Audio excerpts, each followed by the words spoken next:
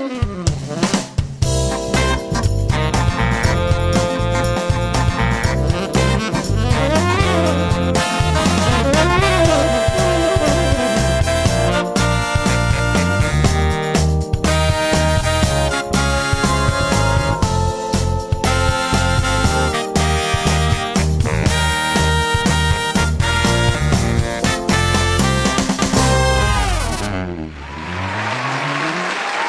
Android Talk wird gesponsert durch Count M Computer. Große Auswahl, kleine Preise und immer gut beraten. So, hallo, herzlich willkommen. Ich bin's mal wieder der Matt von Android TV für Android Talk. 13. Sendung kann Unglück bedeuten, kann aber auch Glück bedeuten. In unserem Fall ist es Glück. Ich habe hier nicht neben mir meinen Bruder Daniel, sondern Fabian, äh, Fabian, Fabian Röhlinger. ja, genau, Röhlinger. Ich darf hoffentlich Fabi sagen, das ist für mich Also, ein bisschen einfacher. Ich habe das Fabi irgendwann mal eingeführt, weil äh, eben jeder vor diesem Problem, vor dieser Herausforderung stand, äh, meinen Vornamen richtig auszusprechen, der ja meine, den meine Mutter ver, einverleibt hat sozusagen als Französin und äh, habe dann irgendwann mal auf Fabi komplett umgestellt, weil es dann äh, diese Probleme dann nicht mehr ja, ist auch gibt. für mich viel einfacher. Dann bleiben wir da besser dabei. Ja. Also, äh, wir haben jetzt, äh, die IFA ist jetzt vorbei und ähm, wir haben uns mal ein bisschen abseits hier gestellt und ich würde ganz gerne äh, den Fabi mal ein bisschen interviewen. Äh, Ersatzweise für unser Android Talk. Ähm, Fabi, ich denke, die meisten äh, Zuschauer von Android TV kennen dich ja, denn wer mit Android was zu tun hat, der kennt natürlich auch Android Pit und dich demzufolge. Aber ähm, oh Schande, du bist äh, seit kurzer Zeit nicht mehr dabei. Wollen bestimmt die Zuschauer mal wissen, was denn passiert oder was ist los oder Ah, warum? Also sagen wir mal, ich bin jetzt seit rund, ne, fast vier Monaten mittlerweile äh, nicht mehr bei Android Pit. so lange Die schon? Zeit vergeht, ja. Okay. Äh, man merkt es auch, äh, wir sind hier gerade im Park am Weißen See und die Blätter färben sich so langsam in Gelb ein, zumindest da hinten und hier und da äh, fallen die äh, Blätter schon vereinzelt. Also als ich gegangen bin, war es noch Frühling. Der Sommer liegt hinter uns und der, Frühling, äh, der Herbst steht vor der Tür. Ähm, das Ganze war natürlich nicht ganz spontan, äh, sondern schon äh, längere Zeit vorbereitet. Es ist einfach so, ich habe äh, viele Jahre jetzt äh, gearbeitet, bin auch jemand, der immer wieder Sachen angeschoben hat und dachte mir, Mensch, äh, jetzt Android Pit ist jetzt groß. Als ich äh, gegangen bin, zu dem Zeitpunkt waren es 45 Leute und äh, hat äh, gute Struktur. Jetzt ist dann einfach mal auch wieder gut und jetzt kann man mal ist vielleicht wieder Zeit für was Neues und vor allem auch mal, äh, wenn man so will, tatsächlich für was Neues. Ich habe einen zehneinhalbjährigen Sohn und ich habe sehr wenig Zeit eigentlich so retroperspektivisch mit ihm verbra- äh, verbracht und das wollte ich immer nachholen. Also könnte man jetzt so sagen, Hauptgrund ist, dass du ein bisschen mehr äh, mit deiner Familie Zeit verbringen möchtest. Das ist einer der Gründe, ja genau. Also einer der Gründe äh, ist, dass ich mehr Zeit mit meiner Familie verbringen äh, wollte und es auch getan habe ähm, und das eben gerade noch sehr, sehr genieße. Ja. Ja, das hört sich doch gut an. Ist es. Äh, da gab es ja natürlich viele Spekulationen von wegen Streit und sonst irgendwas, aber das kann man dann insofern einfach mal ausschließen. Ich weiß nicht, wer die Spekulation ja, in da den, äh, gibt's ja genug Leute, die dann irgendwie was äh, mutmaßen. Ich meine, machen wir uns nichts vor, du, das ist dein Baby. Du, du hast es großgezogen und ich denke, das ist schon ein harter, ein harter Schritt äh, zu sagen, okay, das überlasse ich jetzt mal anderen. Ja, dass da gemutmaßt wird, äh, ich, ich habe es noch nicht gehört so in, die, in dieser Form, aber dass gemutmaßt, äh, gemutmaßt wird, das ist klar.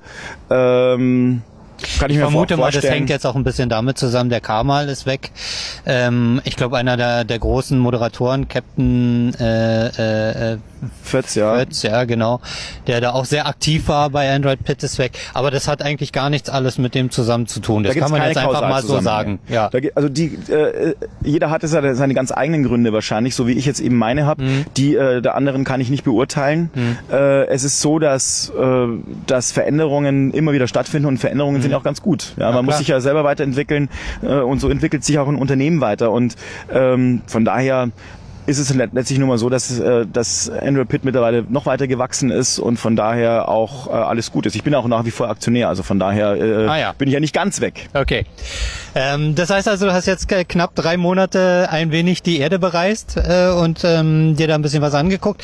Äh, Gibt denn jetzt aktuell schon was, dass du sagst, okay, jetzt wird's langsam langweilig, nur Freizeit? Äh, oder äh, gibt's schon irgendwie was, dass du sagst, jetzt juckt's wieder, ich würde mal wieder ein bisschen was machen? Oder machst du vielleicht Ah. sogar schon irgendwas? Irgendwas? Ja, also es ist natürlich schon so, dass, äh, dass man nie ganz, äh, wie soll ich sagen, ganz raus ist, wenn man eben mhm. das gewöhnt ist, immer wieder was zu tun.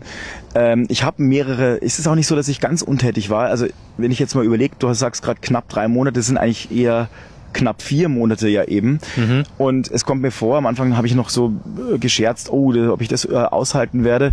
Ähm, jetzt letztlich muss ich feststellen, wenn man so zurückblickt, ähm, dass es eigentlich schneller vergeht, als man eigentlich wollte und gedacht hat und dass man noch so viel vorhat. Ich hatte mir ja vorgenommen, äh, zumindest mal einen Plot für ein Buch zu schreiben. Da bin ich ganz gut weitergekommen. Ich, es gibt so eine äh, grobe Geschichte. Titel? Nee, den Titel nicht, aber ich habe so eine, eine Geschichte, da geht es auch um Internet und um eine Frau, die dann verschwindet und ähm, hat auch was mit Facebook zu tun, äh, mit Facebook Face Connect und so weiter. Also da bin ich sogar gerade ein bisschen am Spinnen. Es wird ein Thriller werden, Ui. Äh, also der Plot zumindest. Ob das Buch dann jemals entstehen wird, naja, das ist wieder eine andere Geschichte. Das hört sich interessant an, ja. Aber da bin ich jetzt gerade so am, am Machen noch. Und ähm, du hast mir ja fleißig dabei geholfen, jetzt während der IFA, äh, ja, als Kameramann dankenswerterweise ähm, Fabis Friday äh, für Samsung eben mit zu produzieren. Ähm, da wird es jetzt mal ein paar Folgen geben um mal zu gucken, wie es so läuft. Was wird da der Zuschauer erwarten können? Fabis Friday, was wird das sein? Also der Titel verrät schon ein bisschen was. Es wird immer Freitag stattfinden. Ähm, es wird exklusiv für Samsung sein auf dem Facebook-Kanal von Samsung und dort werde ich dann über Themen sprechen, die Samsung betreffen und die mich persönlich auch interessieren. Mhm. Also das neue ähm, Galaxy Note 2 könnte zum Beispiel ein Thema sein oder die okay. neue Galaxy Cam, die ich ja persönlich äh, als Favoriten äh, sehe, wenn es um die IFA und Samsung geht. Ja. Ähm, aber auch das Samsung Mobilers Programm äh, ist ein Thema. Es ist ein Video, äh, ein Videoformat, in das eben wöchentlich stattfindet, ist eine Mischung aus Information und Entertainment so sage ich das jetzt einfach mal, ob es wirklich entertaining ist, wird, äh, werde dann natürlich ihr entscheiden müssen, äh, nämlich der Zuschauer oder die Zuschauer.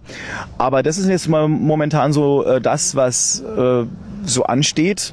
Das ist jetzt aber nicht äh, Android-spezifisch, sondern Nein, eher Samsung-spezifisch genau. und damit Samsung-Themen ja, hört sich interessant an. Einmal die Woche können wir uns das angucken. Genau. Ich denke, das werden wir auch sicherlich featuren und mal schauen, ob wir das irgendwie in irgendeiner Weise auch bei uns mit einbinden. Das hört sich interessant an.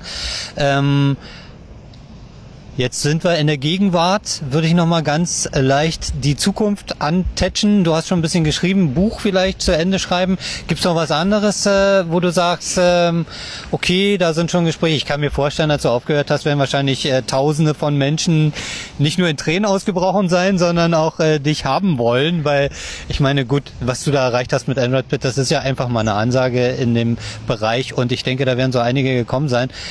Gibt es irgendwas, äh, wo du gesagt hast, hey Mensch, das Angebot, das ist jetzt echt konkret, da überlege ich mal zweimal drüber, ob ich da äh, eventuell was mache in Zukunft? Also es ist so, äh, ich habe tatsächlich etwas, ähm, wo ich hingehen werde. Also und zwar ähm, Anfang am 1.1. Halt, hatte ich mir ja letztlich vorgenommen, soll es wieder weitergehen. Also äh, das Jahr quasi zu Ende bringen und am ja. 1.1. werde ich dann bei, äh, bei Heise Hoi. beginnen. Ja. Habt ihr gehört, Leute? Ich glaube, das ist jetzt hier exklusiv. Ja. Ihr erfahrt es also als erstes, Fabi. In der Tat, da rede ich jetzt gerade zu Heise. Ich werde am 1.1. Ey, das ist eine, eine Ansage, ja. Ja, genau, da werde ich äh, letztlich äh, als leitender Redakteur äh, dort sein. Wow. Wie das dann genau ist äh, und was dann genau für Aufgaben Für den Mobile-Bereich? Das wird für den Mobile-Bereich ja. ja. richtig. Also das heißt, äh, da wird es dann auch nicht nur um Android natürlich gehen, sondern ja. auch um andere Themen im Smartphone-Bereich, mhm. Tablet-Bereich, so wie man es eben letztlich so kennt. Und ähm, das ist primär wahrscheinlich erstmal für den Online, aber auch für mhm. Offline, äh, also für Print oder wie auch immer. Aber wir werden mal sehen, es wird, äh, äh, wird dann, glaube ich, ganz spannend werden. Ich mache mir dann, dann die Gedanken, wenn es dann soweit ist, Anfang Januar. Okay.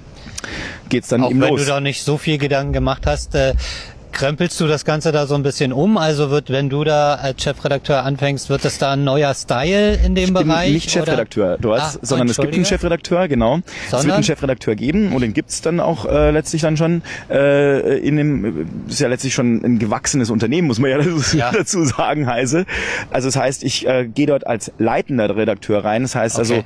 also, äh, in, in, man, das ist so im Ressortbereich irgendwie, meine Aufgaben äh, eben sind noch nicht genau definiert worden. Mhm äh, das wird dann eben, äh, und so muss man sich das dann vorstellen, ähm, dann eben, äh, also das wird sich dann wahrscheinlich dann so, so mhm. ergeben und so zeigen. Ich werde aber natürlich mich gerne mit einbringen, wo ich auch immer kann. Und mhm. äh, ja, ich, ich meine, ich habe natürlich dann immer schon ein paar Vorstellungen, wie äh, Dinge aussehen könnten oder wie ich ja. äh, letztlich, wie letztlich etwas erfolgreich sein könnte, aus meiner ganz persönlichen Warte und äh, Überzeugung heraus.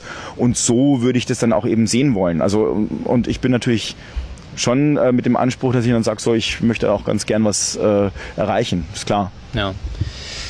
Ja gut, da sind wir natürlich mega gespannt darauf, was da kommt. Ähm, die IFA ist noch vorbei oder ist jetzt vorbei. Ich würde ganz gerne nochmal, wenn ich das jetzt richtig verstanden habe, wirst du gar nicht so viel von der IFA gesehen haben.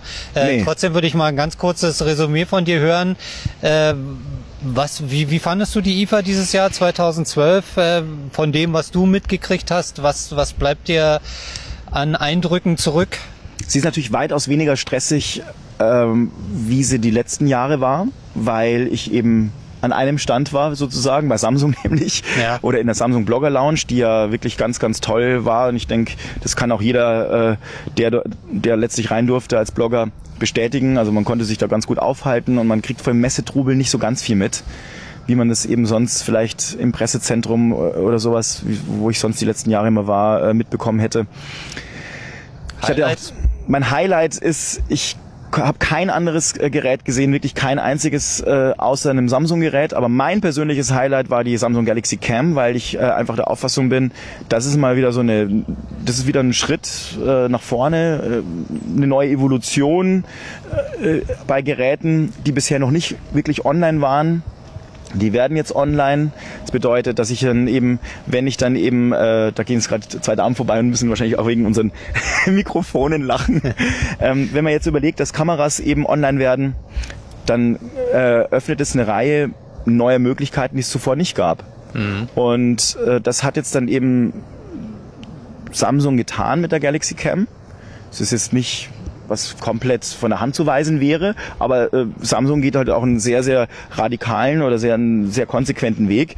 Man wird halt, verbaut halt einen, einen, einen 1,4 Gigahertz Quad-Core-Prozessor gleich mal ja, und ein, äh, ich glaube 5,3 Zoll war's. Ähm, ja, ist das schon sagenhaft. Also super, ja. Und Kollege Sascha Pallenberger habe ich gesehen in seinem Online-Stream hat er auch mal Angry Birds drauf gespielt oder Temple Run und äh, auch dieses Zombie-Spiel, ich weiß gar nicht, wie es heißt. Äh, ich stehe nicht so auf Zombies, ja, aber es ist schon sehr ressourcenhungrig. Äh, das auf einer Kamera zu spielen, ist natürlich schon mal äh, eine Ansage.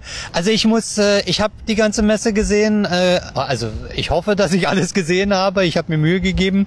Ich muss auch sagen, dass äh, in der Samsung-Halle in, nach meiner äh, Auffassung her die meisten Innovationen waren. Also dass die neu neuesten Kracher. Das war sicherlich auch das Note 2, was mich ja, schon sehr stark sicher. beeindruckt mhm. hat. Ähm, die Kamera, klar, das ist mal eine völlig neue Sache äh, mit einem Android-Betriebssystem. Äh, ansonsten fand ich noch ganz interessant auf dem Intel-Stand. Äh, Intel macht ja jetzt auch eine CPU äh, für äh, Android-Smartphones. Und was ich auch noch ganz gut fand, war Huawei oder Huawei oder Huawei oder wie auch immer man dazu sagen möchte, dass dieses MediaPad, dieses 10 Zoll MediaPad mit der Quad-Core CPU, dass dann das jetzt nun auch endlich in den Verkauf kommen wird und auch gleichzeitig mit einer Dockingstation für 99 Euro. Sieht fast aus wie ein Asus äh, Prime-Gerät, ja. ähm, nur wesentlich preiswerter. Ich glaube, das äh, wird noch eine ganz interessante Also Sache. Huawei äh, war ja schon beim MWC äh, letztlich, da wurde ja das äh, MediaPad das erste Mal vorgestellt, ja. wo wir schon gesagt haben, boah, krass. Das sind mal Kampfansagen und äh, jetzt ist es dann auch im, äh, mehr oder weniger im Laden. Der, der Intel-Chip wurde ja auch beim zum MWC, meine ich, ähm, zum ersten Mal präsentiert und vorgestellt. Also jetzt langsam werden sie marktreif, die Produkte finden ihren Weg in die Läden und das ist auch gut so. Jetzt kommt ein bisschen mehr Konkurrenz, ein bisschen mehr Wettbewerb.